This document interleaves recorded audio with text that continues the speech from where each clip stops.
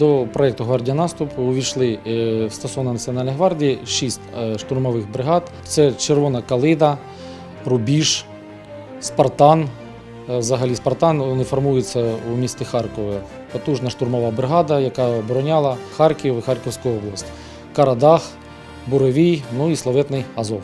Формуються вони виключно з добровільців, тих, хто хоче знешкодити ворога, захищати свою державу і повертати свої землі, які купувала Російська Федерація. По-перше, це е, обов'язково добровольці, це мотивовані. Ті, хто вже бойове завдання виконував починаючи з 2014 року на захист став вже країни нашої, хто проходив строкову службу. Ми приймаємо і тих, хто не проходив службу.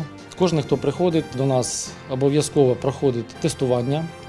Е, Перевіряються фізичні здібності і проводиться е, військово-лікарська комісія. Проходять заняття з тактичної, з вогневої підготовки, з медичної підготовки, після чого е, він потрапляє до штурмової бригади.